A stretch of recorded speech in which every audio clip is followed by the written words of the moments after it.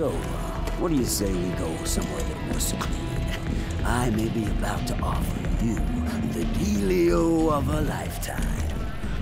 A posztapokaliptikus világokban játszódó történeteket már a 80-as évektől előszeretettel használják a játékkiadók, kezdve talán az akkori legismertebb Wasteland című 88-as RPG-vel. 1997-től kezdve aztán az atomháború utáni környezetben játszódó játékok új mértékegysége a Fallout sorozat lett, hiszen az akkor még körökre osztott RPG stílusú játék a maga idején az első két részével etalonnak számított. Azóta a már régen FPS nézetbe váltott lövöldözős játékkel alakult részeknek is nagy rajongó tábora van, nem számítva a borzalmasan sikerült tavaly megjelent Fallout 76-ot, de akár a nemrég tesztelt Metro sorozat utolsó része is bizonyítja, hogy mennyire kedvelt környezet ez még mindig. You need to get those supplies run up to the northern watchtower as soon as you can. 2011-ben aztán a Rage első része is csatlakozott a világégés utáni játékok sokasságához az ID szoftver fejlesztésében, bár itt a történet szerint kivételesen nem atombomba, hanem egy aszteroida becsapódása tarolta le a Földet. A játék színvilága és technológiai ábrázolása leginkább a Mad Max filmekre hasonlított, ahol egy korábban hibernált katonával kellett harcolnunk egy bizonyos The Authority vagy a Hatalom nevű szervezet ellen. A játék technológiája akkoriban az ID egyik új fejlesztésű grafikus motorján alapult, ami lehetővé tette hatalmas területek csúcsminőségű megjelenítését. Ezzel nem is lett volna baj, és az úgynevezett gunplay, vagyis a fegyverek kezelése is kiváló volt, viszont sok kritika érte a játék történetét, amely finoman szólva sem lett emlékezetes. Aztán a Rage világa majdnem tíz éves álomra szenderült, míg bejelentették a második rész 2019-es megjelenését. Az első meglepetés rögtön feltűnt bárkinek, aki ismerte az első részt is, miszerint hatalmasat fordítottak a játék színvilágán.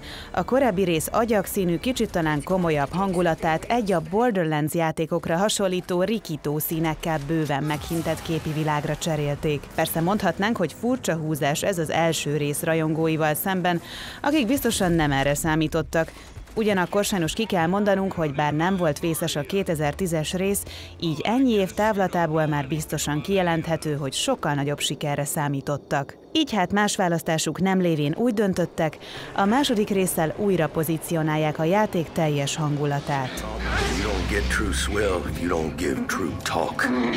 I speak the day's true, Marsh. Violence destroyed. Yeah, right. Blown right to shit by mega bad techniques.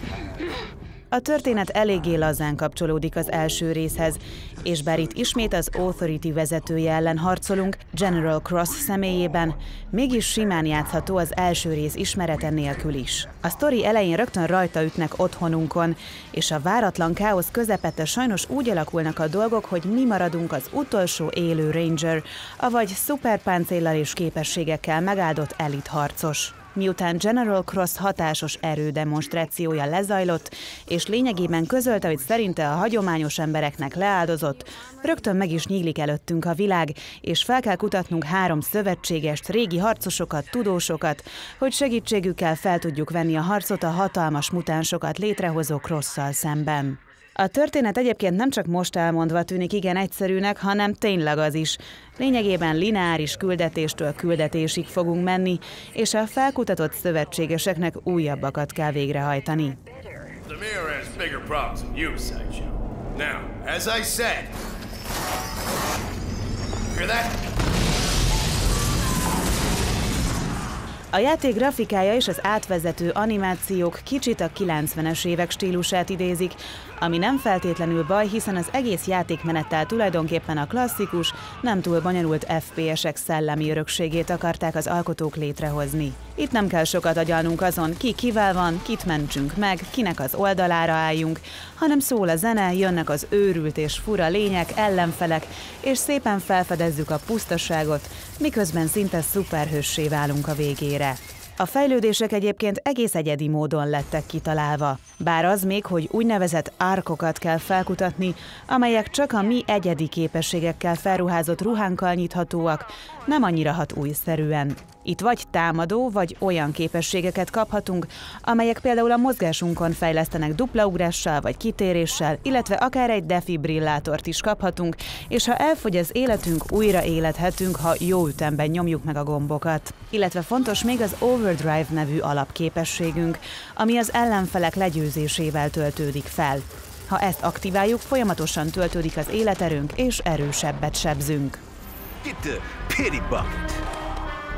Prove your sizzle on that slow-mo ride. And then move on. Simmer to the very top like the slickest grease in a gumbo.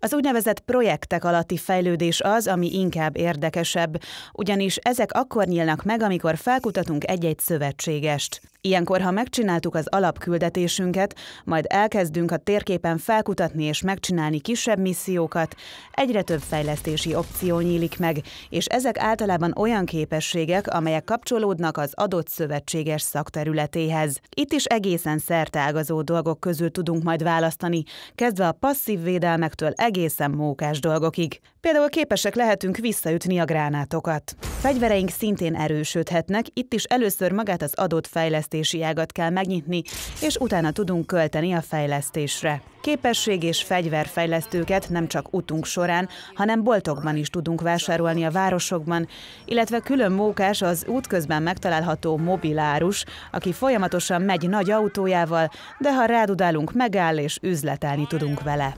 Apropó autók. Utunk során nagyrészt autóval fogunk közlekedni, vagy éppen motoron, sőt később egy repülőmotor hibridet is be fogunk tudni szerezni. Azzal végre egy kicsit lerövidülnek a távolságok, hiszen ott nem kell majd az utat követni, illetve gyors utazni is csak a városokba lehet.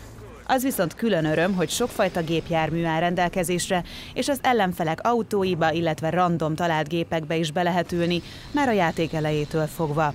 Természetesen van egy saját járművünk is, ezt szintén fejleszteni tudjuk idővel, amire szükségünk is lesz, mert a kezdetekkor azért egy nagyobb ágyú gyorsan le tudja nullázni őt is.